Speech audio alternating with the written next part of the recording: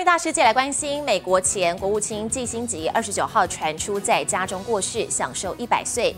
季辛吉曾在尼克森和福特两位总统执政期间担任国务卿，在美国外交史上举足轻重。他曾为尼克森总统访中铺路，是一九七零年代中美破冰的重要推手。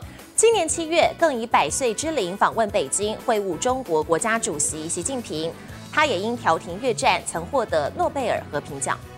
Former U.S. Secretary of State Henry Kissinger has died. He was 100 years old.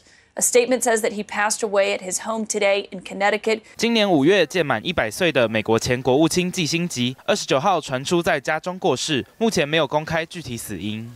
基辛吉曾在尼克森跟福特两位总统执政期间担任国务卿，卸任后也相当活跃，多年来持续针对国际情势提出看法。今年七月更以百岁之龄突然访问北京，会晤中国国家主席习近平。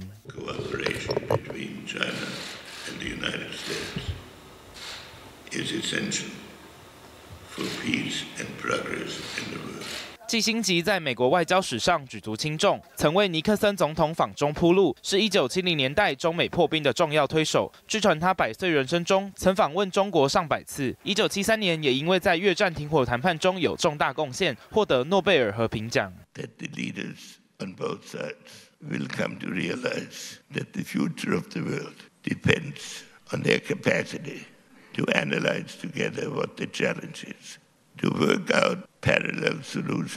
And to manage the inevitable difficulties. 基辛吉主导多年的美国外交政策，有“美国外交教父”之称。不过，因为他主张现实政治，同意在强国竞争下牺牲小国利益。乌俄战争期间，曾表态要乌克兰妥协放弃克里米亚领土，饱受外界批评。张永腾编译。